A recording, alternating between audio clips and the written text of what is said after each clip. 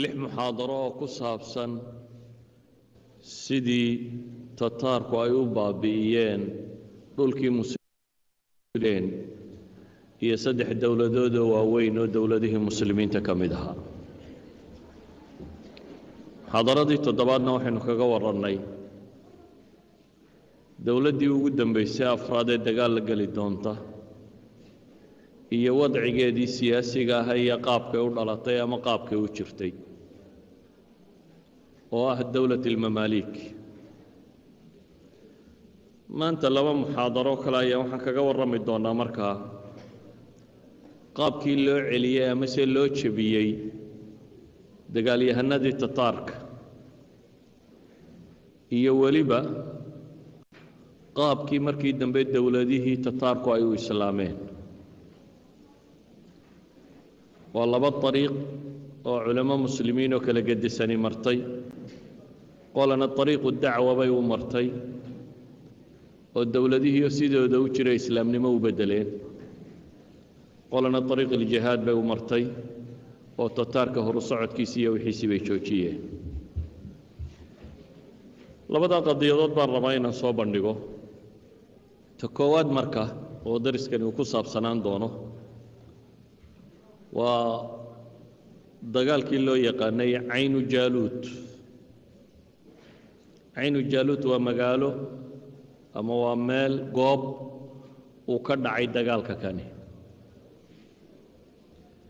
Waxaynu soo tilmaamnay masar iyo daraabaadkii siyaasigee ka jiray iyo duwalilmamaaliik ama mamaaligta dowladdoodii markay samaysantay iyo wixii dhab ka soo dhacay ee bilowga ahaa.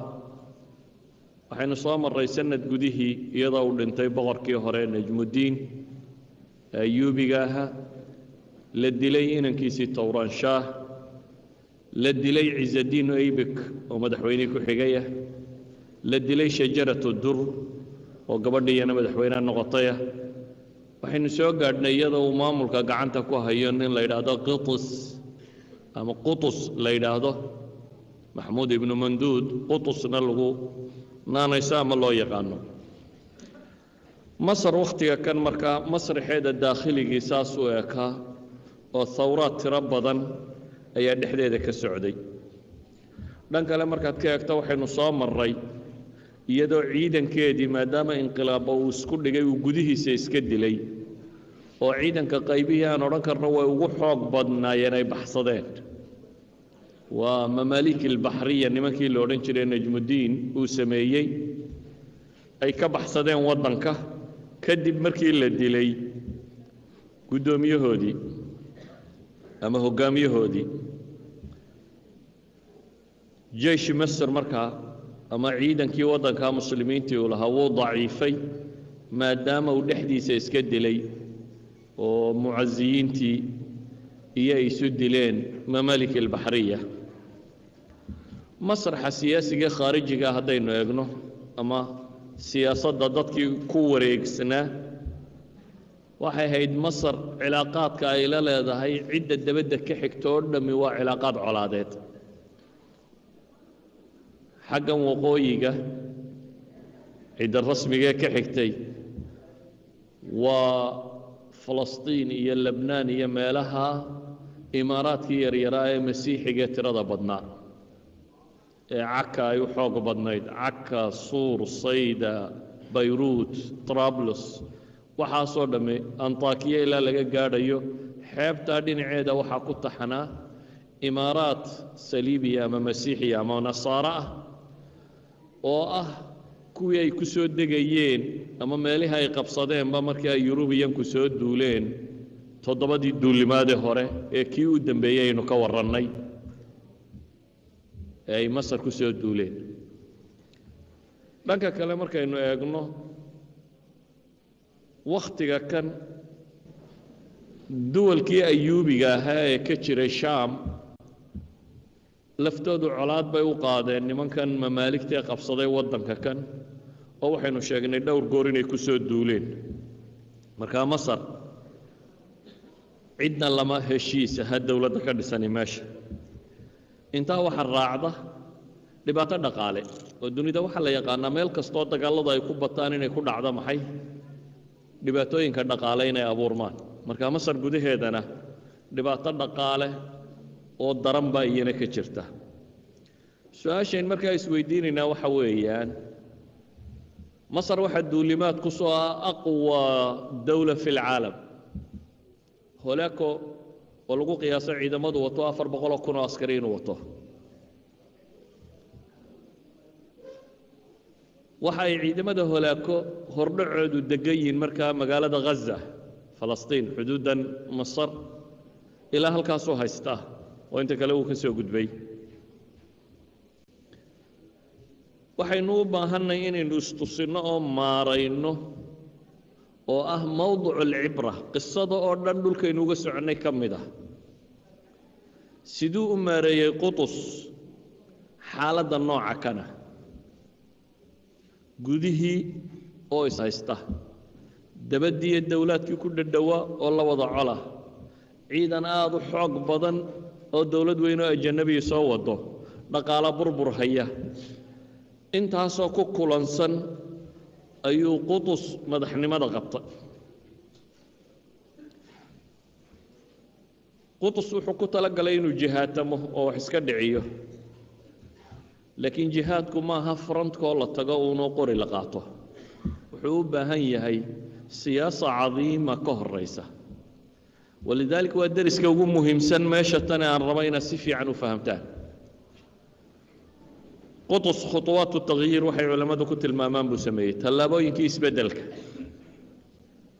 kow siyaasaddiisii koowaad wuxuu ku bineeyey waddankan dadka deggan inuu midayn karo. Wailaa hadday kale tafaraaruqsan yihiin cadow iskama celin karaan. Sawaa koox jihaatamaysa ama ha joogta ama yay joogin. Waddankan muslimiinta ah ee masar ah haddii siyaasiyiinteeda iyo ciidamadeeda iyo dadkeedu ay ishayaan iyaga gudahoodu. Iyagu ay col yihiin oo isdilayaan. Oo aan soo sheegnay madaxdoodii inay intaa laayeen. Inuu intaasoo ninoo madaxii inqilaab ku dhintay. Towraan shaah ciisadiin aybek maxaa la yidhaahdaa shajarati dur maxaa la yidhahdaa janankii ciidanka haystay farisidiin aqtaay. Waxaasoo nina wac iyo dumarba waxaynu sheegnay in dil ay muteen isagu markaasi wiilkii yaraa meesha ka inqilaabay oo qabsaday. Inuu dagaal galo aqwa dawla fi lcaalamna inuu iska dhiciyo. Taasi waxay keensatay markaas inuu siyaasaadkiisoo dhan dib ugu noqdo. Awalan wuxuu ka bilaabay istiqraar ilwadci daakhili waddanka gudihiisa sidee siyaasaddiisa loo sugi karaa. Wuxuu isugu yeedhay waddanka umaradiisii iyo qaadadiisii caskariga ahayd iyo dadkiisii waayeelka ahaa iyo culammadiisii buu isugu yeedhay. Waa waddanka wixii madax ahaa ee telinayey ayuu shir isugu yeedhay. Dabeetana qitis wuxuu kala warra kala hadlay qadiyadda tan.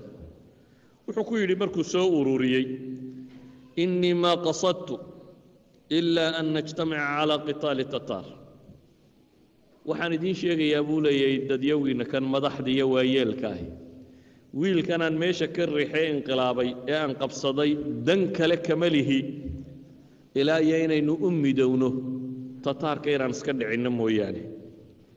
Waxaanan ogahay buu leeyahay dowladnimo inan yaroo carruuri haystaa inaanay wax dhicin karaynin.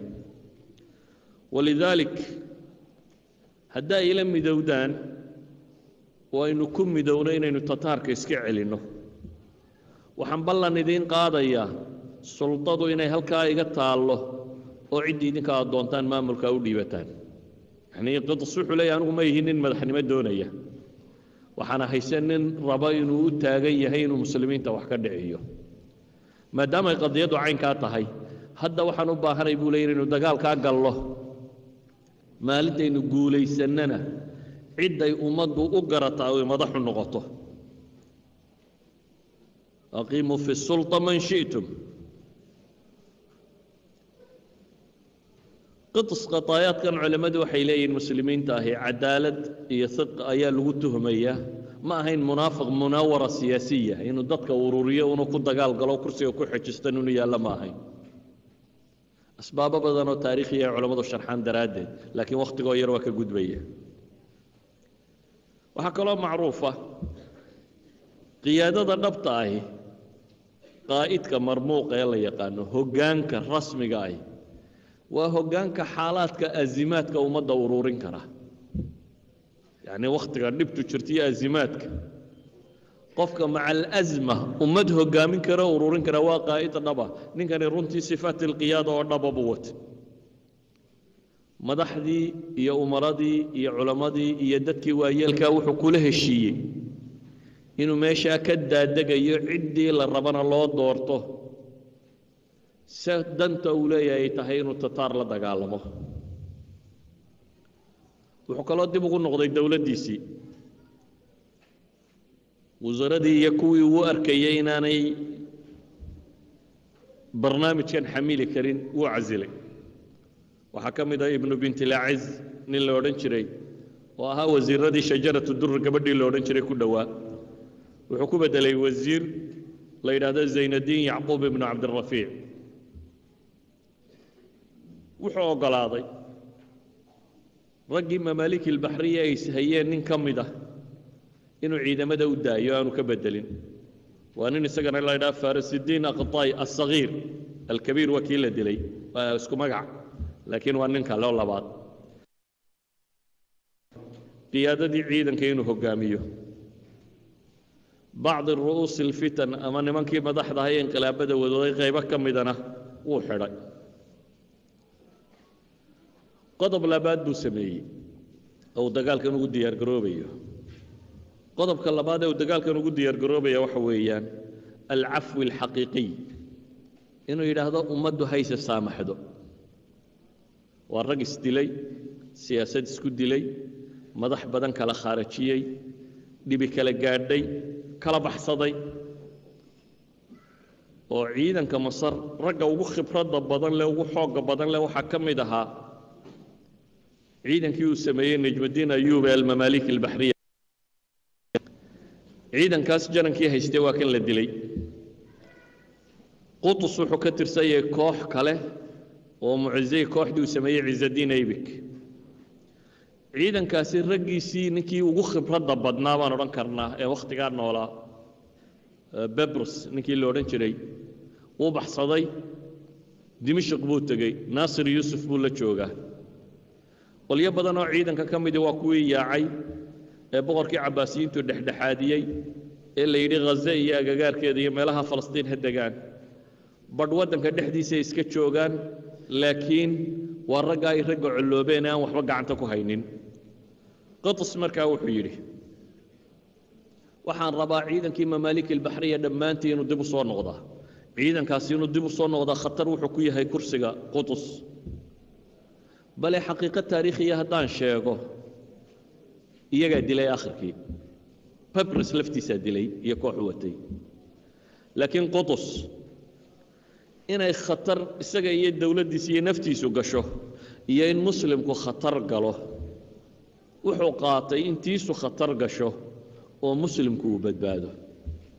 Yacni qutus wuxuu u taagan yahay inuu mamaalik ilbaxriya uu ka xoog batay uu sidaa kaga takhalluso oo kursiga kan haysto laakiin ma iska dhicin karaa markaa dowladdii tataarka ahayd. Wuxuu ka door in isaga kursigan uu khatar galo bale uu aqbalay inuu kaba tanaasulo haddii ay muslimiintu isku raacday inuu tanaasulo wuxuu aqbalay inuu tanaasulo isaga iyo kursigiisuba inay khatar galaan. Laakiin faa'iidadu ay maxay tahay? Faa'iidadu ay tahay muslimku sidii uu guulaysan lahaa.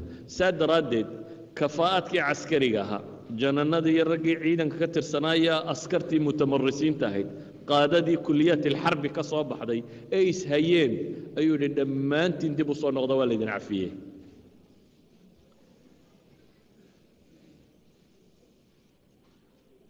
Waa niman khatara nimankaa uu soo celiyey laakiin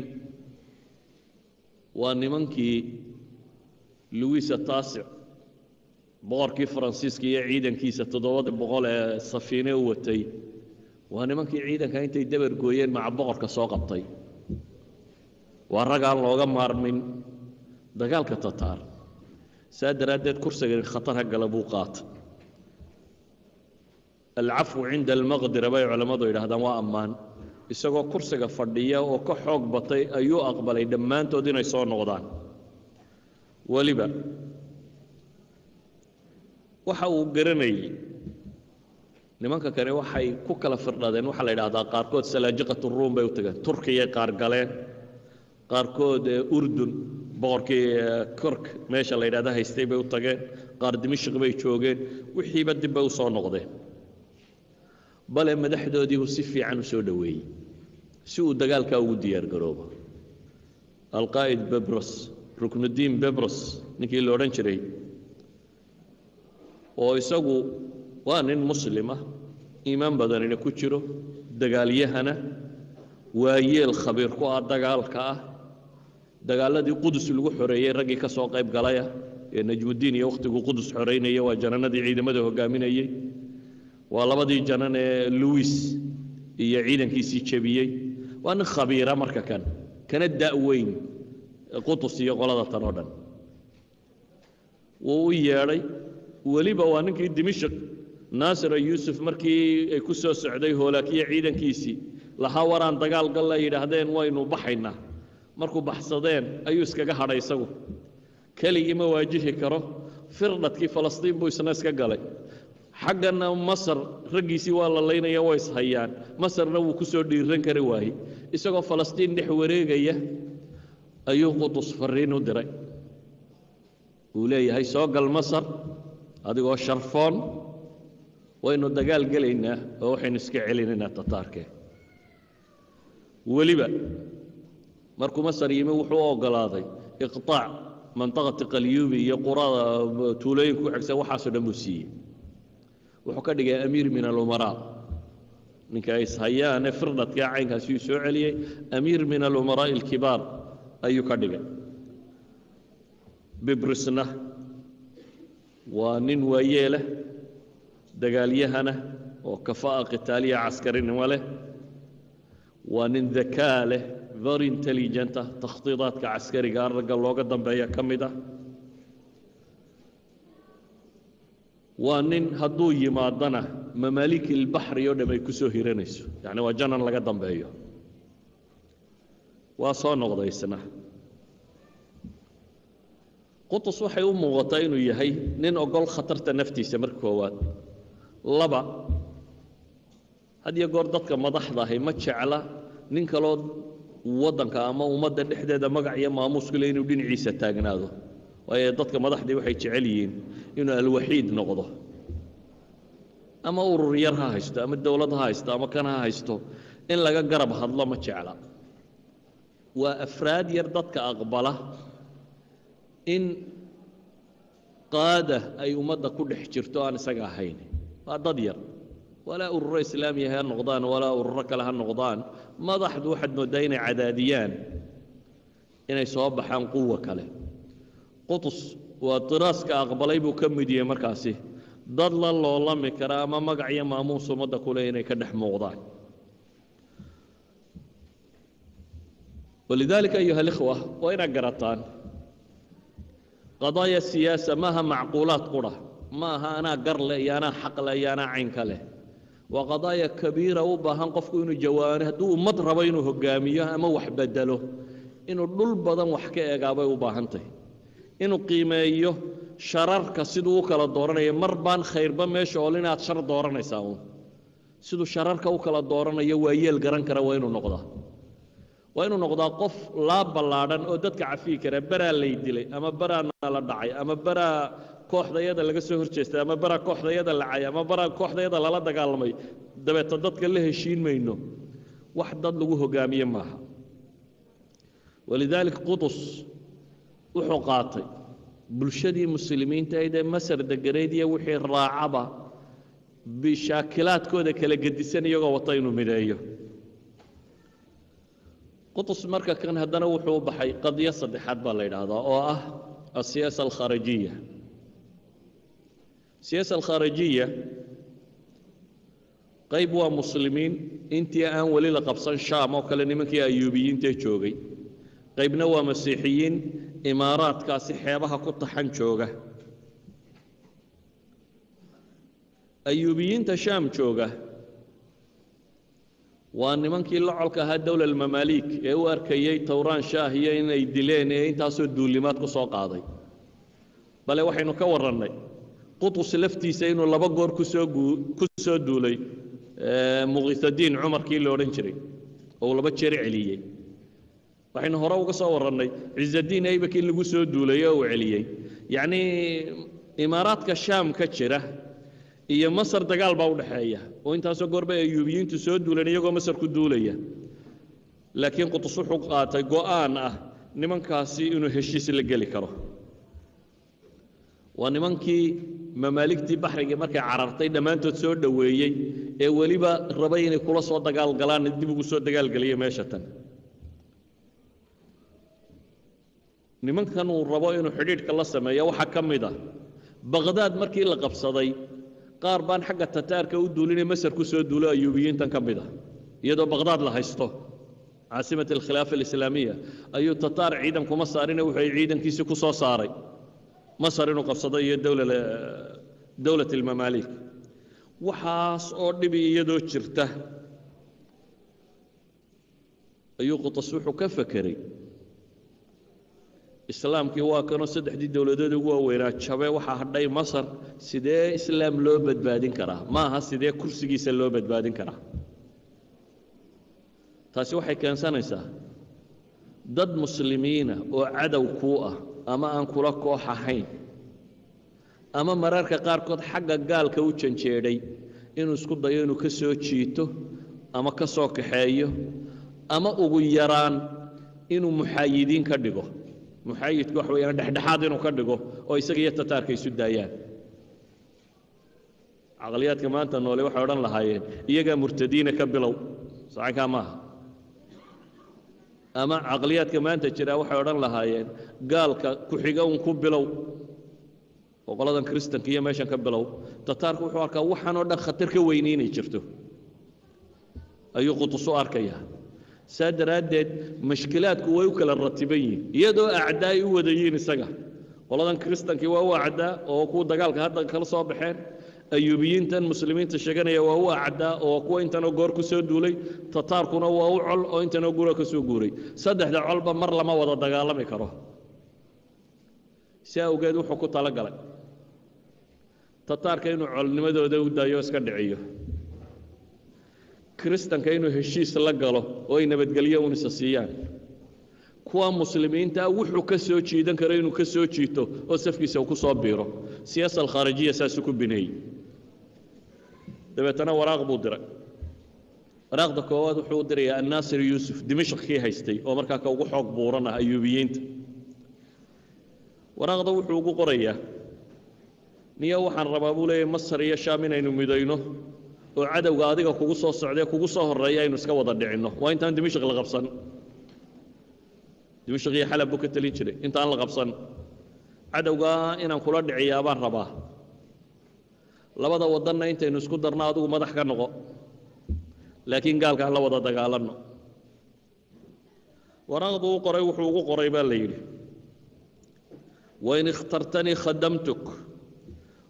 Wain اkhtarta قدمت ومن معي من العسكر نجدة لك على القادم عليك فإن كنت لا تأمن حضوري صيرت لك العساكر صحبة من تختار حلي هداد أقبشه نائب بان كون غنيا وكو شقينيا دولة دادي كو ديبيا هداد ربطه anigoo ciidankayga wataan kuu imanaya halkaasaan kaala difaac gelaya masar sugi maaya inta la imanaye shaam baan ka dagaalgelaya anigoo ciidanka wata. Haddaad aniga iga shakisantay buu yidhi. Isku darso ciidankoo dhanna aan kuu soo diro. Ciddaad adigu doonto madax uga dhigo. Ciidankii masar joogay waan soo dirayaa shaam ha kuu yimaado. Adiga ha ku difaacaan weliba ciddaa doontana madax ka dhig buu leeyahy ciidankaasi oo kaxayso naasir ma aqbalin. Midnimadaa wuu diiday midow ma raba buu yidhi. Waabuu isxambabooro wuxuu yidhi anigaaba dagaalamaya maxaan cid ula madoobaya laakiin kooxda dagaalanta maahayne markii xalab la qabsaday ee isaga lagu soo dhowaadayna wuu cararay. Waataynu taarikhdiisa hore uga soo warrannay sidii uu ordayo kolba meel u gelayey meel yaroo jafar la ydhahdo saxaaro ah. In hoolaaka ciidamadiisii intay ku qabteen hoolaaka loo diray. Nasiib darra laakiin intii hoolaaka lagu sii waday ayuu qutus soo jebiyey ciidamadii tataarka firdhadkoodii baa isaga hoolaaku u tegey hoolaakaa dib u soo celiyo yidhi kani waa khaayinku u shaqayn karaya meeshii madax uga dhigo. Isagoo dib loo soo wado ayaa firdhadkii ciidanku jebiyey qutus firdhadkoodii tataarkii oo cadhaysan ayaa cidlo ka helay iyadoo madaxnimo loo soo wado kuwaasaa diloo ka takhallusay isaga. Ayan kaanat naasir wuu diidey dabeetana wuu cararay naasirkaasi isagu siyaasadda kuma guulaysan. Shacabkiisii iyo ciidankiisiina ma difaacin. Aakhirkii markuu marayay ciidamadiisii qaybo ka midii markay soo gaadheen khazaya meelaha kan iyagoo aanu isagu la socon bay u galeen ayay qudus u galeen. Saaxibu xamaa xamaa meesha la yidhahdo ninkii haystay alamiir mansuur ayuu qudus waraaq kale u diray uu yidhi waanaan nimankaa la wada dagaalanno. Kaasi wuu soo aqbalay. Waxba kama qaba buu yidhi. Mid saddexaad buu la xidhiidhay. Almugiis cumar waa kark urdun meel ka mida nin haystay. Oo mar horena yidhi waan dagaalamayaa laba jeerna ku soo duulay masar. Laba jeeroo horuu masar ku soo duulay. Waa ninkan idin lahaa markii la qabsaday baqhdaad buu isagu duulimaadka xagga ku waday. Laba jeer buu kaasina wuxuu aqbalay. Waan anigu adigana ku raaci maayo tataarkana raaci maayo iska dhexdhexaad baan ahaanaya alashraf ilayuubi kii la yidhaahdee ximis haystay kaana waraaq buu u diray. Kaasina qutus si toosu u soo diiday. Isagu wuxuu yidhi anigu safka hoolaakan ku biiraya. Dowladda xoogga weyn la dhankeeda. Ayaan raacaya almelik saciid mid la odhan jiray laqabkaa haystay. Xasan ibnu cabdilcasiis baniyaas ninkii xukumi jiray. Kaasina wuxuu u galay isaguna jeeshi tataar natiijadu waxay noqotay. Xamaan ninkii haystay diblomaasiyaddii qutus uu aqbalo isagu wuxuu yidhi waa kugu soo biiray kii xalab iyo dimashik haystay isagu waa kii baxsadee jabay laakiin isna ciidamadiisa wixii ka hadha iskaga cararay oo iyana ku biiray.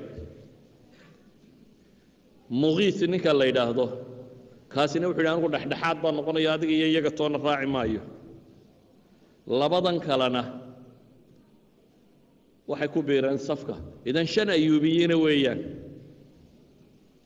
Mid aqbalay mid cararay oo ciidankiisii aqbaleen mid yidhi dhexdhexaad baa noqonaya iyo laba ku biiray xagga xagga tataarka ku biiray.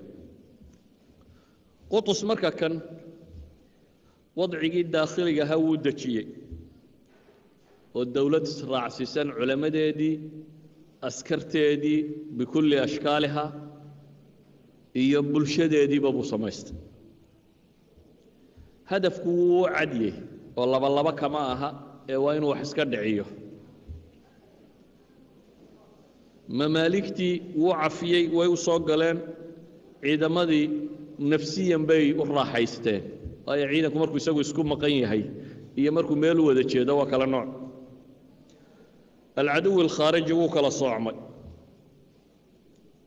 Oo badhna tataarkay ku biireen badhna isagay ku soo bireen badhna xiyaadi bay noqdeen. Duwalkii yararaa ee saliibiyiintaha iyaga waynu u iman doonnaa iyo si uula dhaqmay intii uu wararkan waday tataarkuna waa soo socdeen. Shaam oo dhan way soo liqeen marka. Iyana markaa xuduudda masar bay marayaan hazay marayaan.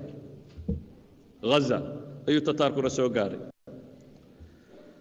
Shacabka masar waa shacab marka kan dhibaato badan oo dhaqaale soo martay. Tataarka iyo maxaa la ydhahaa sumcaddiisii dee cajiibka ahayd ay odhan jireen. Haddaad maqasho ciidan tataar baa la jebiyey rumaysan ayaa maahmaaha noqotay. Wixii oo dhammo mashkilada waa haysata.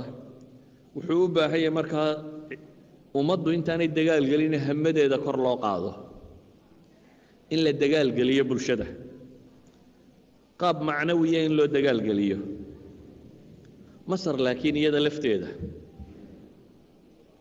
doctor raakib asarjani wuxuu leeyahy laba qiimo oo fiican baa yaallay laba vaaliyu oo wanaagsan. Kow madhab sunniya baa marka kan biyo dhigay. Oo dee wakhti yar ka hor salaaxaddiin alayubi ka hor dee dowla alfaatimiya shiico raafidiyiin oo aada u liita ayaa maamulayay waddanka. Salaaxaddiin alayubi baa ka qabsaday marka kan culammadii muslimiintu ku soo keenay meesha madhab sunniya si fiican u faafay.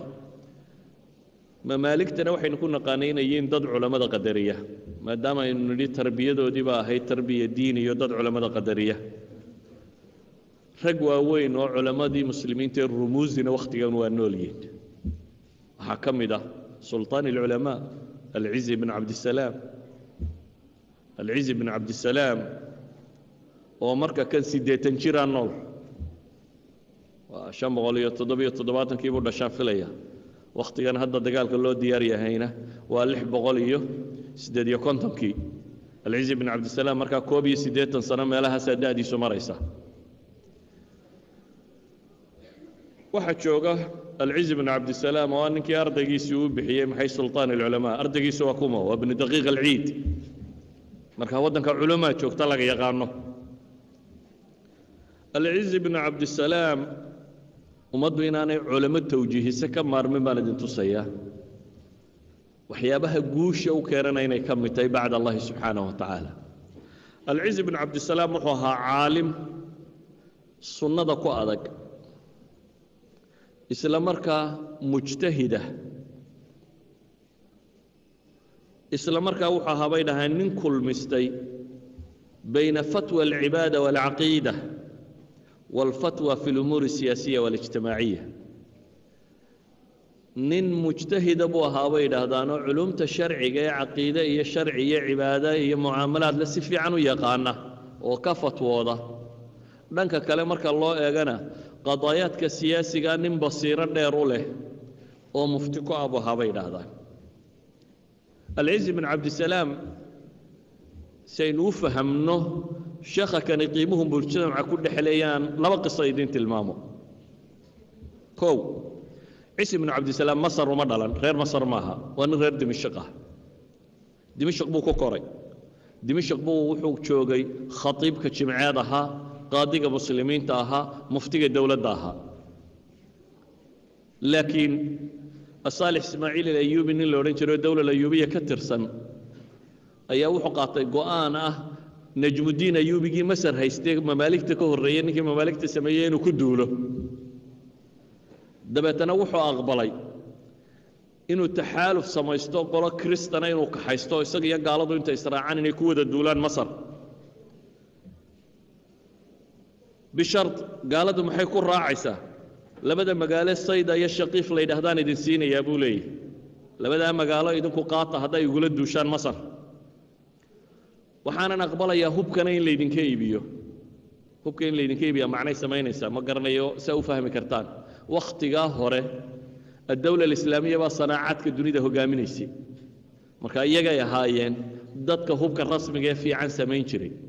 Marka wuxuu leeyahay waxaan kaloo ogolahay muslimiintu inay hubka idinka iibiso oo aynu ku wada duullo qoladaas. Alcizi bn cabdisalaam oo mufti dimashq ah ayaa wuxuu yidhi boqorku asaalix bnu ismaaciil mulkigiisa shakhsigaa maaha buu yidhi dhulka muslimiinta isagu bixi karo waxaad leedaa la bixiyaaye. Dhulka muslimiintu boqoroo waxaad adigu leedahay maaha buu yidhi. Sidaa awgeed ma asaxaysa buu yidhi waan bixiyeydu waa marka labaad buu yidhi muslim baa lagu duulayaa hubkaa laga iibinayaa masiixiintuna laa yajuusu baycu silaax buu yidhi. Hubkaa in la iibiyaana ma bannaano si muslim loogu duulo inaad ka iibisaan hub. Iyaduna ma bannaano buu yidhi. Dabeetana waxaa la yidhi qaadinimada waa lagaa casilay muftinimada waa lagaa casilay duruusta waa lagaa joojiyey khudbaddana waa lagaa joojiyey. Aamus wax ma sheegi kartid. Markii wax walba laga casilay ayuu iskagaba tegey magaalada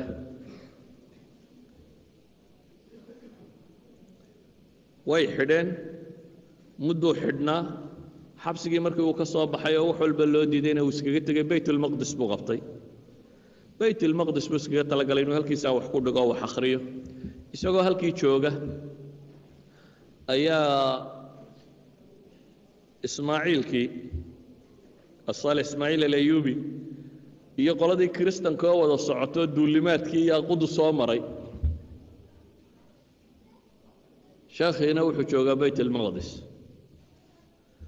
dabeetana ninkani waa nin sumco iyo bulshada magac ku leh.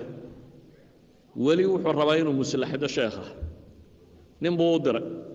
Wuxuu yidhi waxaad ku tidhaahdaa farriintaa gaadhsii nin baa u yimi sheekhiyo meeshiisa iska joogo wuxuu ku yidhi sheekh in wixii aada mansab haysatoo dhan lagugu soo celiyo qaadinimadii iyo madaxnimadii iyo muftinimadii iyo khitaab wixii oo dhan inaad hesho iyo wasiyaada weliba dheeraadna lagugu daro.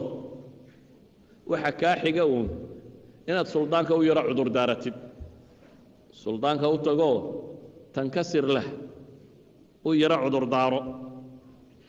Oo gacantuun ka dhunka buu yidhi bes intaa un samee suldaanka intaad u tagto salaam khalaas arrimuhu dhegdheg bay noqonayaan wax waliba way dhammaanayaan alcizi bn cabdisalaam wuxuu ugu jawaabay wallaahi yaa miskiin maa ardaahu an yaqbila yadii fadlan an aqbila yaddah yaa qowm antum fii waad wa fii waad walxamdu lilaahi aladii caafaanii mima btalaakum bih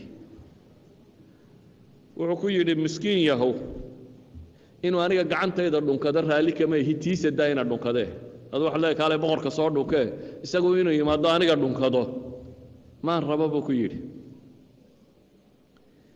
waxaan kuu sheegayaa buu yidhi idinna dhan baa u socotaan. Anna dhan kaleaan u socdaa isku webi ma haysanna buu le isku dooxo isku waddo ma hayno. Idinkuna waddaa haysaan. Aniguna waddo kale ayaan haystaaye. Ilaahay baan mahadinayaa waxa idinkaa uu idinku ibtilay aniga iga caafimaad yeelay. Dee adduun baa aakhiro siisateene. Ilaahay intuu idin waxaa idinku idinka idinku ibtilay aniga iga caafimaad yeelay baan. Waxay dhahdaan mar kaluu xidha dabeetana isagoo khaymad yaroo kanuu boqor ku jiro dhinaceedaa ku xidhan oo qur'aan akhrisanaya bay idhaahdeen baa waxa u soo galay. Saliibiyiintii baa waxay u yimaadeen ismaaciilkii iyagoo la hadlayuu yidhi qur'aankaa baxaya ma maqlaysaan. Markaasay idhahdeen haa. Wuxuu yidhi waa muslimiinta wadaadkii ugu weynaa ayaa halka igu xidhan. Waxaanan u xidhan. Arrimihiinuu diiday yacni waa uun irhaabigii ugu weynaana waanu haynaa duwalka reer galbeed marka la kii ugu weynaana xabsiguu igu jiraa weeyaan qoladaasi marka wuxuu leeyahy kii ugu weynaana halkuu joogaa oo wuu ii xidhan yahay. Laakiin qoladan masiixiyiinta waa qaar ka caqli badanba ninka kan. Waxay ku yidhaahdeen annaga hadduu ahaan lahaa qisiskayga ugu weyn cagihiisa intaanu maydhnaa biyihiisa cabbi lahayn bay yidhahdeen inaanu xidhno daaye. Dadkaba ninkii cilmiga u hayay haddaad xidhatay annagu maanan xidhaneen bay yidhahdeen ka noogu weyn intaanu addimadiisa maydhno ayaanu cabbi lahayn nasiib wanaagse. Waataynu dhi najmudiin ayuub markaynu ka soo sheekaynaynay qoladan wada socotoo dhan intuu jabiyey buu bayt almaqdis xoreeyey. Iyo afartankii waynagii soo sheegnay in la xoreeyey bayt almaqdis meesha dadkii lagu xoreeyey buu ka mid ahaa sheekhu markaa wuu kaxeeyey. Najmudiin ayuub baa kaxeeyey oo geeyey masar. Masar baa laga dhigay muftigii iyo qaadigii iyo wixii oo dhan. Laakiin sheekhu markuu masar yimi ayuu wuxuu u yimi niman mamaalika oo umaro oo dadka xukumo oo caynkan oo uu boqorku leeyahay.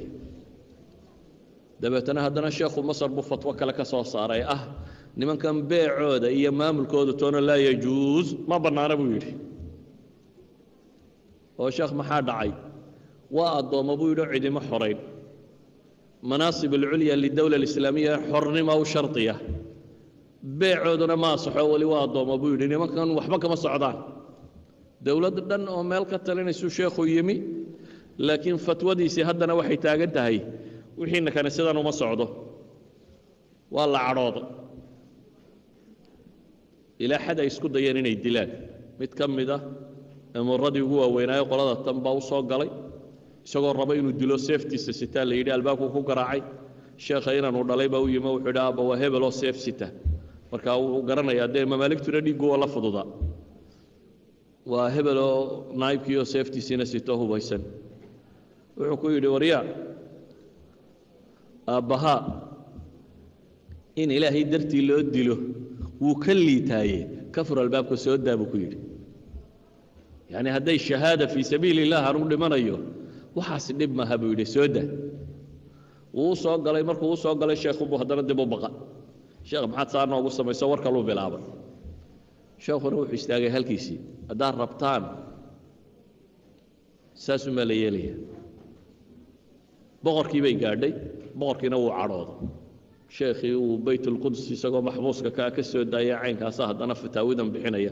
Boqorka laftiisii uu ka cadhooday. Markii la cadhooday ciisadiin ibnu cabdisalaam wax kale ma samaynin. Wuxuu yidhi caynkaa ma tahay haa khalaas qaadinimada iyo muftinimada iyo maamulka iyo wixiinoo dhan qaata. Mar haddaan la ogolayn mabaadi diina intaan sheegay inay faafto waan iska tegayaa. Dameer uu haystay buu fuulay reerkiisiina dameer kaluu saaray magaaladana uu iskaga baxo tuuluu isaga baxay. Wadaadku adduun laba dameer buu ka wataa. Laakiin masar oo dhan baa ka daba dhaqaaqaday alcizi bin cabdisalaam magaalada hadduu ka baxa baa la yidhi yaa joogaya. Tujaartii culammadii dadkii wixiiba waa la dabagalay. Boqorkii baa war loo geeyo waxa la yidhi magaaladii waa gilgilantay. Sheekhiina safar. Yacni culammada dadku culammadooda way qiimaynayeenoo agteeda culammada magac ku lahayd. Walidaalik baa sheekhu wax ma dilin wax ma maagin waxba kale ma samaynin. Mujarad waanu iscasilay waanu iska tegey.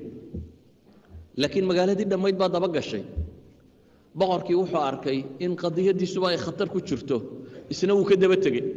Boqorkiibuu wuxuu u tegey alcizi bn cabdisalaam baa loo tegey. Sheekh soo noqo baa la yidhi. Wuxuu idhi soo noqon maayo fatwadaasoo aa fulisaan mooyaane oo maxaa see loo fulinayaa? Nimankani waa addoommo waa la iibinayaa suuqaan geynayaa waa la iibinayaa. Marka la iibiyo ragga iibsada ha xoreeyaan. Markay xoroobaan hadday doonayaan maamul u dhiiba markaa adigu madax ka dhigo waa madaxdii dowladdu iibinaya. Halkaasuu taaganya isagu anugu nimankaa madaxdaa waan iibinayaa buu leeyahy haddii aad aqbalayso sidaana waan soo noqonaya haddii kalena. Oo saad odhanaysaa baa la yidhi lacagtooda lacagtooda baytulmaalkan ku shubayaa buu yidhi. Waan iibinayaa dabeetana muslimiintan ku bixinayaa danahooda guud. Waxay noqotay dowladdu inay khalkhal gasho iyo in la aqbalo fatwada alcizi bn cabdisalaam waxaa la yidhi waa la aqbalay wuu soo noqday. Madaxdii iyo umaradiibu u yeedhay kolba mid buu soo taagay ayaa gadanaya. Dabeetana qiimaa la sheegaa wuu qaaliyeeyey intaas siin maayo buu yidhaahdaa addoonkan dowladda alaho qiimo qaaliyuu ku iibiyey. Lacagtii uu ku iibiyeyna khadamaadka muslimiintu uu ku bixiyey. Maxaan u sheegayaa qisada alcizi bn cabdisalaam waxaan rabaa inaan idiin tilmaamo dowladdo qura maaha waxa dagaalgelaya ciidamo qura maaha waxa dagaalgelaya waxa weyaan ummaddani waxay haysataa rasiid. Dad shacabkooda hadday wax u sheegaan ay shacabku aqbalayaan. Oo aan maamul iyo askar ku xidhnayn. Walidaalik markii tataarka qadiyaddiisii soo dhowaatay dowladdiina nin saalixi uu qabsado qitus la yidhaahda qutus. Qutusna go'aanka ah uu qaatay inuu dagaal galo. Siyaasa alkhaarijiya iyo daakhiliyaba uu nin ku guulaystay noqday ilaa xaddin ma ciidamadiisi iyo wixiisii oo dhan urursaday. Muslimiintii dabadda joogtay wixii uu la heshii karaya aqbalay oo dhan uu la heshiiyey. Wixii gaalada raacaya inay toos gaalada u raaceen. Waxaa loo baahan yahay shacabkan in la dhiiri geliyo ay dagaal galaan. Shacabka masarna wakhtiga kan. Dee dagaaladii front gaar oo dee kristankaa bay ku jireen dagaaladii crusadeska marka waa shacab qiimatuljihaad aanay weli agtooda ku dhimanin. Aljihaadu fii sabiili illah waa shacab weli uu agtooda ka nool yahay.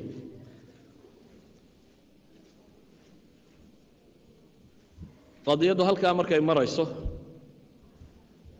waynu leenahay shacabkii masarna waa loo khudbadeeyey waa culammadoodii baa la hadashay ummaddii waa la dagaalgeliyey. Ayaa hoolaaka waraaq soo diray. Waraaqda wuxuu u soo dhiibayey afar nin oo tataarkii ka mid ah dabeetana nimankii rususha ahaabaa magaalada qaahiro soo galay waraaq bay u keeneen qutus waraaqda maxaa ku qoran باسم إله السماء الواجب حقه الذي ملكنا أرضه وسلطنا على خلقه الذي يعلم به الملك المظفر الذي هو من جنس المماليك صاحب مصر وأعمالها وصائر أمرائها وجندها وكتابها وعمالها وبادها وحاضرها أن جند الله في أرضه وهو لك شيئا أن جند الله في أرضه خلقنا من سخطه وسلطنا على من حل به غيده فلكم بجميع الأمصار معتبر وعن عزمنا مزدجر فاتعذوا بغيركم وسلموا إلينا أمركم قبل أن ينكشف الغطاء وسل ويعود عليكم الخطأ. فنحن ما نرحم من بكى ولا نرق لمن اشتكى. فتحنا البلاد وطهرنا الأرض من الفساد. فعليكم بالهرب وعلينا بالطلب. فأي أرض تأويكم وأي بلاد تحميكم. رسالة تنوى رسالة دير. هناك وحلي مقع ilaaha cirka leh ee waajibka daacadiisu tahay baan ku furfurtay ee dhulkay makansiiyey ee khalqigiisa igu salliday. Boqor yahu buu yidhi meesha jooga ee weliba addoommaha ka midi min jinsi ilmamaaliik ka tirsani ee masar iyo inta u dhadhow xukumaa waxaad og tahay buu yidhi annagu inaanu nay askartii ilaahay cadhada ilaahay baana laga abuuray wixii rabbi nacana waa nalagu salliday waxaan dhul soo baabi'iyey baa kuugu filan cibro qaadasho. Ee dadka kale ku cibro qaada buu leeyahy oo maxay yeel? Amarkiinna noo dhiib. Intaan ceebtiinnu muuqan. Oo gafkiinnu idinku dhicin. Annagu ku ooya uma naxariisanno. Ku ashtakooda uma qalbi dabacno dhulka waannu furannay fasaadkana waannu ka tirtirnay. Waajib idinka orod baa idinku ah buu yidhi annagana eryashaa nugu ah inaa idinku yaacdaan. Waa waajibkiinna buu leeyahay anna inaan idin caymadiyaa waa waajibkay saaran. Dhulkee idin hoyn kara xaggaa seeftayada ka geli kartaan gacantayada lagama baxsado fardahayaga lagama dheereeyo seeftayadu waa sida danabka. Warmahayagu waa kuwo wax jeexa. Qalbiyadayadu waa sida buuraha. Tiradayadu waa sida ciidda. Qalcad iyo xusuuni yacnii meel la galaa wax nagama celiso. Ciidan la samaystaa wax nagama anfacaan. Baryadiinnana looma aqbalo. Waayo buu yidhi xaaraantaa cunteen. Oo salaanta inaa celisaan baad diiddeen oo dhaartaa beeniseen oo cuquuqul waalideynkaa idinku tiro batay oo cisyaankaa idinku badan ku bushaaraysta buu leeyahy dullinimo iyo mahaana. Markaasuu qur'aanna ku soo qoray. Meel kasta adiib munaafaqaa jooga. Kuwan wuxuu soo qoraya. Afkan carbeeda caynkana soo qoraya waa udaba munaafiqiin oo tataar ka tirsan. Qur'aan bay soo istidlaanayaan dhegeyso warqadda holaaka waxa ku qoran فاليوم تجزون عذاب الهون بما كنتم تعملون وسيعلم الذين ظلموا أي منقلب ينقلبون هولاك سوقرية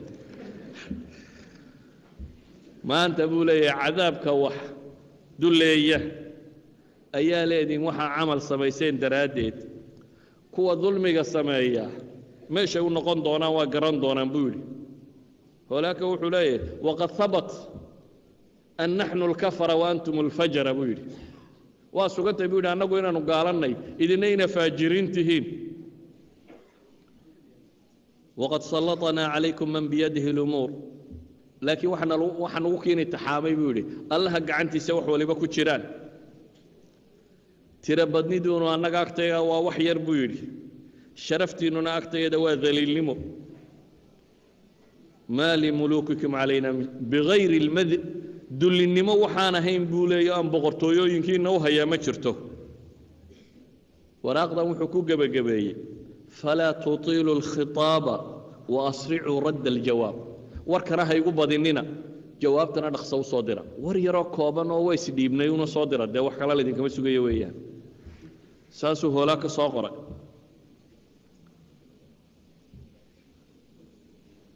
Waa risaalo aan diblomaasiyada aqoonin.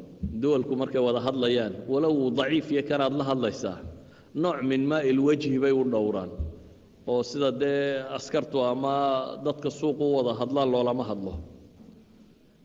Qofka dowlad maamula walow uu daciif iska yahay arkay dowlado yaryaroo intay dowladaha waaweyn u taga laydhaha danaha labada dowladood baanu ka wada hadalnay sidii mustaqbalka loo horumarin lahaa. Waa luqa diblomaasiya. Qofka maa ilwajhi baa loo ilaaliyaa laakiin hoolaakad xataa taasi kuma jirto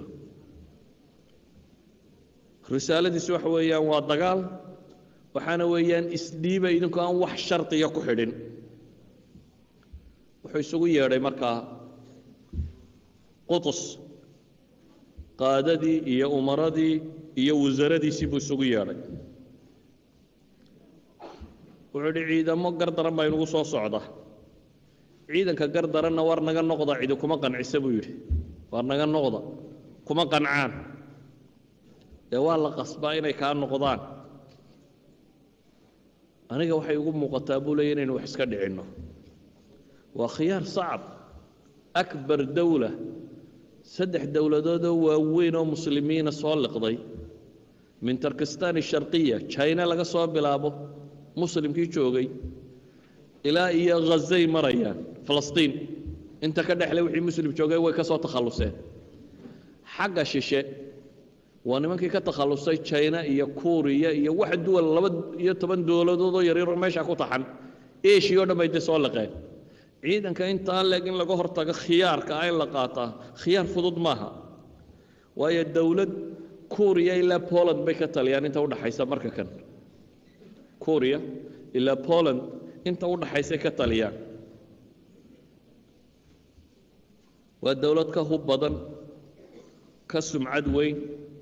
Ciidankeedu sumcad badan haysto. Ciidamo waaweyn oo muslimiinah oo dowla alkhawarzimiya iyo armeniya iyo kurjigii ama georgiya iyo dowla alcabaasiya iyo yurub iyo shaam. Waxaasoo dhan bay liqeen. Qutus laakiin wuxuu leeyahay waxaan rabaa inaan dagaalamo. Qaadadii iyo ciidamadii inuu qanciyo dagaalkuna ma fududa laakiin muxuu isticmaalay? Waxay idhahdaan laba ariiquu isticmaalay. Kow wuxuu yidhi waryaa waa madaxdii cidduu la hadlayaa. War waan dagaalamayaa buu yidhi. Waan dagaalamayaa markaan idin leeyahayna. Ciidamo diri maayo. Anaa ulqi tataara binafsi. Anaa tataarka naftayda kala hortegaya. Ma aha dowlad iyo ciidan iyo wax diri maayo buu leeyey ee anigoo caskariya oo dagaalamaya ayaan furantka tegaya. Wuu awoodi karayay waa nin madaxee dee madaxweynihii waddanka inuu ciidamada yidhaahdo dagaal taga laakiin wuxuu leeyahay dadku raba inuu qancaan. Dantuu rabo inuu dantuu doonaya buu rabaa inuu dadka ku qanciyo. Wuxuu leeyahy waan dagaalamayaa qaa'idkuna hadduu ummadda ka horeeyo ummaddu way daba socotaa saxaabada maxaa geesinimada baray? Nebi moxamed calayhi salaatu wasalaam madiinaha habeen qayla yeedhay. Dabeetana nebigaa u soo horbooday abu alxa farasuu leeyey ayuu dhufsaday farasku koore iyo waxba ma wato waa leedo ma sugin inta wax la saarayo. Wuu baxay nebigu calayhi salaatu wasalaam. Intii dadku isu soo baxbaxayeen ayuu soo noqday nebi moxamed isagoo le lan turaacu lan turaacu waxba ha cabsanina. Yacnii anaa ka war keenay meeshii dhibtu ka jirtay. Waa qaa'id ilumma isagu ka war halka dhibtu ka jirto. Oo saxaabadiisii geesiyaada ahaa buu soo noqday isagoo faraska wata. Markaasuu wuxuu ku leeyahy lan turaacu lan turaacu laqad wajadtuhu baxra. Waa xadiidkii bukhaari.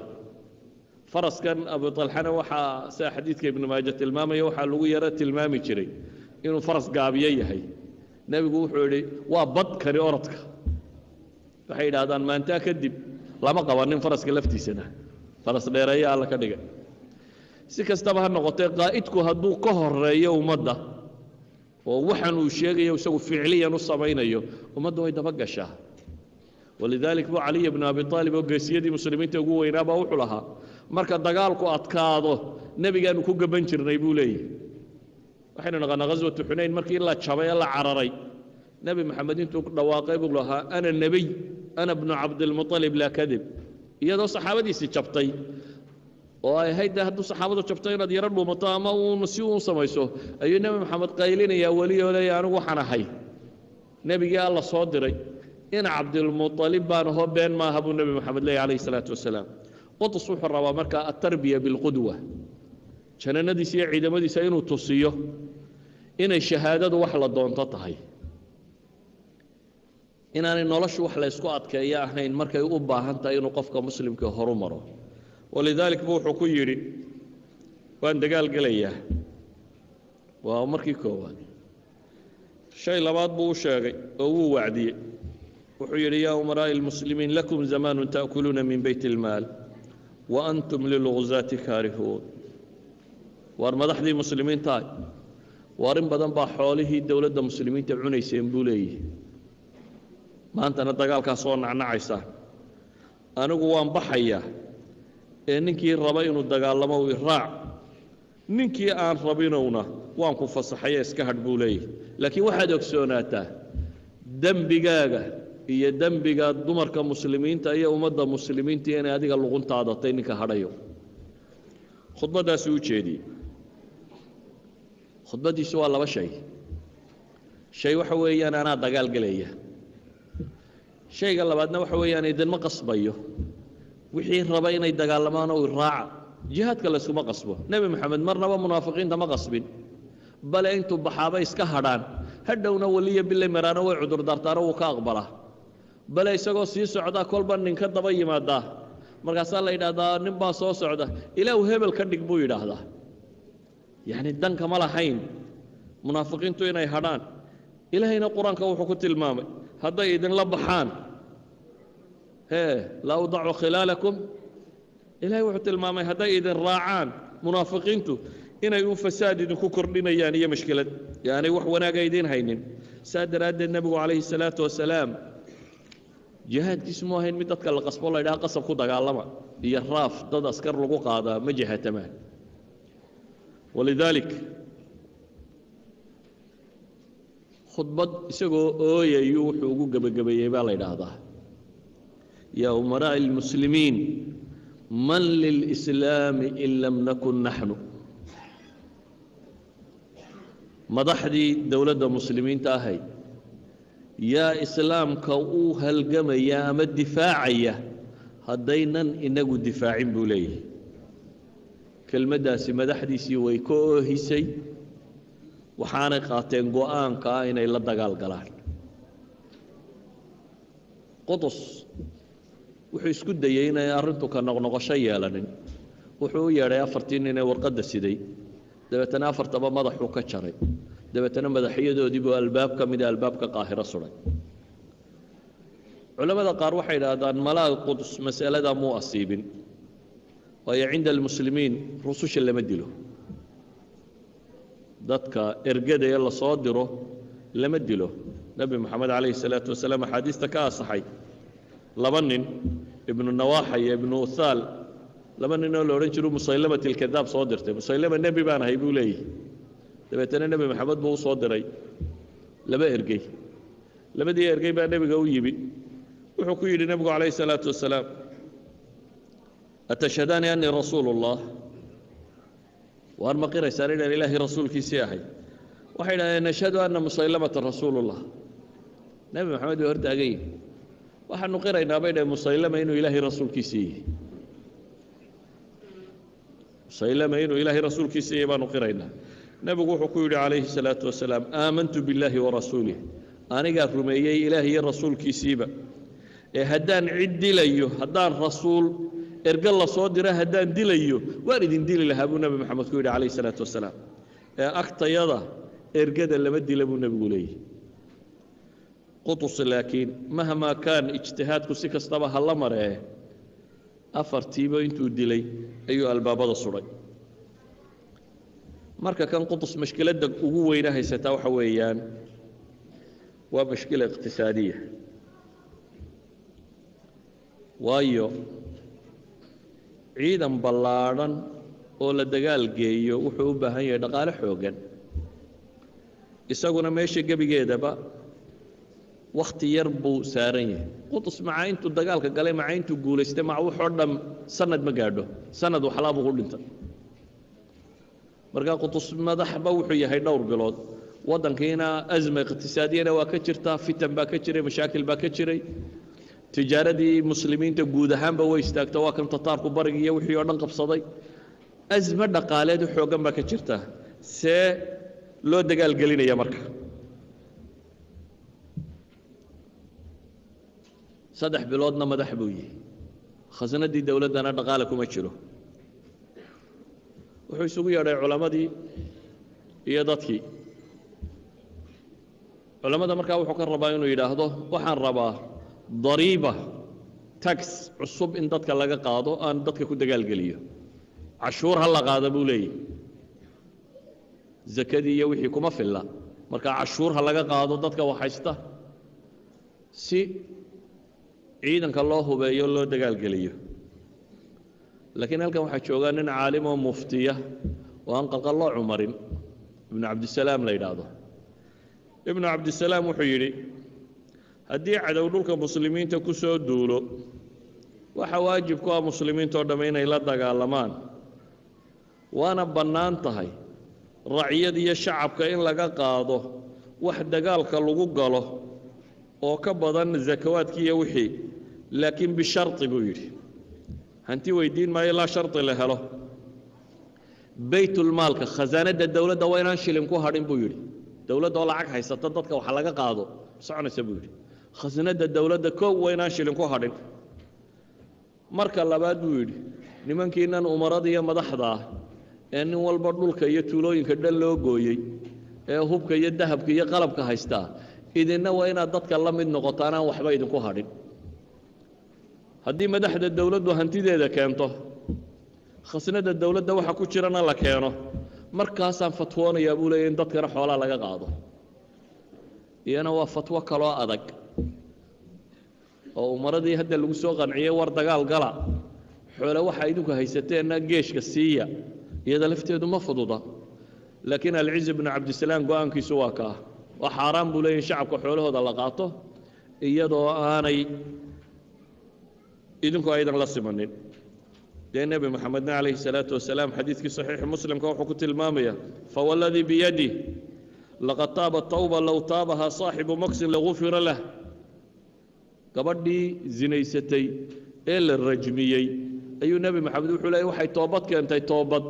Hadduu toobad keeno ka cashuurta qaada ilaahay dembigiisa uu dhaafi lahaa. Muxsinadda la dilay toobaddeedii waxaa laga dhigay toobad xataa loogu dembi dhaafaya maxay? Kan dadka xoolahooda baata ku qaada. Yacni xoolahoo baata lagu qaadaa kaanama ay ka weyn tahay maxay? Warku markuu halkaa marayo ayuu qutus wuxuu yidhi fatwada sheekha waa aqbalay anaa ugu horreeya faraska iyo seefta mooyaane wixii aan hanti leeyoo dhan waan ka dhaadhacay buu yidhi oo ka daadegay waxaan hanti wato waxaan aqbalay in ciidamada lagu wareejiyo. Mar haddii dee madaxweynihii wuxuu haystay wareejinayo waxay noqotay umaradii iyo dadkii kalena inay aqbalaan waxay haystaan inuu wareejiyo. Alcizi bn cabdisalaamna wuxuu fatwooday. Dagaalku wuxuu u baahan yahay hantiya markaa in la bixiyo. Masarna sheekheeda waa daba socotaa markaa mushkiladii dhaqaalahana waxay u muuqataa in la xallilay. Xalkeedii la helay. Ciidankii waa la diyaariyey waa la dhaqaaqay. Waxaase markaa iyana mashkilada wuxuu qaatay go'aan ah inaanu masar gudaheeda ku sugin waayo wuxuu leeyahy ciidanku hadduu masar jabo meel dambe uu isku urursan karaa ma jiro. Marka waa inaan ka hor tagaa buu leeya oo dhankay joogaan ugu tagaa. Laakiin xaggan ay joogaan markuu tagana wuxuu soo dhaafay dowlado yaryaroo badan oo masiixiyiinah oo uu ka baqay inay ama waddankii u weydaartaan dagaal ama isagaba ay xagga dambe kaga dhuftaan intay heshiis la galaan tataarka mal camal idan ma iyagu ku bilaabaa kuwa kanoo waddadu bannaystaa hadduu waddada bannaysto kuwan ku bilaabana tataarkoo boqolaal kunoo askari haysta wuxuu gaadhayaa isagoo dhaawac iyo dhimashaba sita. Oo dagaal la soo galayoo dhib qaba. Iyadoo awalba laga xoog badnaa haddana ciidankiioo soo dagaalamay inuu tataar gaadhana waa dhib badantay.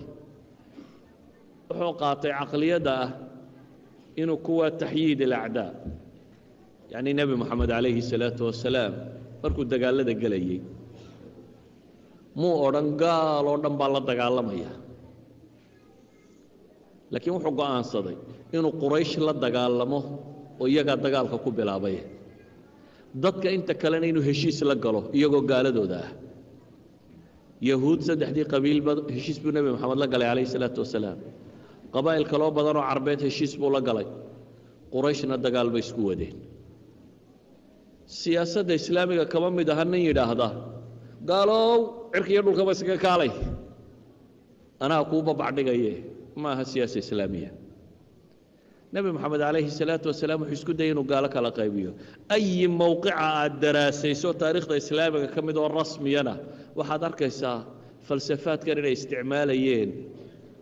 Raggii guulaha taariikhiga islaamka u soo hooyey go'aan buu qaatay markaa iyadoo saliibiyiinta ay ishayaan iyadoo dagaalkii toddobaad ay marayaan iyagoo ay ka khatarsan yihiin tataarka waayo iyagu istaytaan bay wadeen inay dhulka degaan bay rabeen oo ay kiristaaneeyaanoo mabaadi' bay wadeen. Qolada tani xoolaha iyo dadkaba way dhacayeen ama waa leynayeen iyagu diin iyo mabaadi'toona may wadin de xadaaraba may wadeen inde qoladan eshiya ka timi ee tataarka ahay laakiin waxaa khatarsanaa marka kan qoladan saliibiyiinta ah wakhtiga kan. Laakiin wuxuu u arkayey inaanay wakhtiga kan hadduu heshiis iyo nabad helaya inuu heshiis iyo nabadda qaato. Qutus markaa wuxuu u diray caka ayaa ugu xoog badan imaaraadka saliibiga. Ah cakuu u diray waa caka xayfa sayda suur bayruut laadaqiya antakiya. Waxaasoo dhamme waa duwal kiristana oo meesha ku taxanayana waa duwal kristan oo xataa salaaxaddiin alayuubi uu awoodi kari waaye inuu furto. Wuxuu u diray markaasi rusul uu leeyahay caka waxaan idinka rabaa inaynu heshiinno. Akhiiran markii muddo la wada hadlay waa la heshiiyey. Waxay ku heshiiyeen wuxuu ku talagalay intaanay tataarka la heshiin inuu isagu la heshiiyo waxay ku heshiiyeen inay hudna wada galaan toban sannadood inaan wax dagaali dhex marin labadooda kooxood. Dhulkaygii waan ka imiye wixii ciidanku uu baahdo ee raashinka iyo wixii la mida inaynu wax kala iibsanno dad nabadoo wax kala gadanaya noqonno. Abaalmarin haddaa intaa ii gashaan idinkana waxaan idiin samayn doonaa. Haddaan tataarka jabiyo fardaha tataarka ee khatarta ee aad taqaanin baan wax idinka siinayaa buu yidhi oo idinka iibinaya kuwaasaanana wax idinka iibinayaa haddaa idinkuna heshiiskani la gashaan. Waa heshiis tabaadul ilmasaalix cakana waa meel aada u qalcado xasiina leh. Way aqbaleen. Heshiiskaasuu la galay. Wuxuu bilaabay markaasi inuu ciidankiisii soo dhaqaajiyo. Ciidankii markii ay caddaatay inuu soo dhaqaajinayo dee kollay dad ama niyad jilicsan ama aan dagaalka jeclayn waxbaa jira askartii wax wax ka mid iyo waxbaa baxsaday oo markan dagaalka baxsaday qaar baa orodkii xijaas galay qaar baa yaman galay qaar baa maqrib alcarabi u cararay laakiin dadka wixii ku qancay inay dagaalamaan kuwa kani wuxunbay ka mid ahayn kuwii ilaahay lahaa low kharajuu fiikum maa zaaduukum ilaa khabaala wala awdacuu khilaalakum yabquunakum اlfitna wafiikum samaacuuna lahum wallahu caliimu biالظaalimiin ciidamada wixii aqbalay iyo shacabka wixii dagaal aqbalay iyo dadkii muslimiinta o dhan baa la soo kaxeeyey. Falastiin sinai meel ku taalla oo saalixiya la yidhaahdo meel bannaana ayaa ciidamadii meelihii casaakirta iyo kuliyaadkii lagu tababarayay iyo wixii o dhan markii laga keenay halkaasuu isugu wada keenay. Marka kan waxay maraysaa waa awaa'ilu shacbaan. Awaa'ilu shacbaan waxaynu ognahay safar baa la qabsaday maxay? Baqdaad caasimat almuslimiin. Dimashqna rabiicu lawal baa la qabsaday. Haddana shacbaan baa la joogaa. Shacbaan buu markaa wuxuu keensaday waa wakhti julay ku beegan oo kulaylo ah. Sinai waa kulayle wakhtiga xagaaga wakhtigaa kulaylka ah ayuu saxaarahaasi aqbalay inuu ka tallaabiyo ciidamadiisa waa ka soo tallaabeen.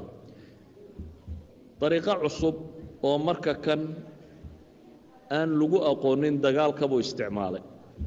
Wuxuu isticmaalay ciidan muqadamo ah oo xooggan inuu sameeyo oo ciidamadiisa in badan ka horreeya muqadamada aliicada yani ciidanka ciidanka hor socda wax badani uma dhexeeyo sida caadiga la yaqaano. Laakiin marka kan wuxuu samaystay ciidamo muqadamo ah oo xooggan.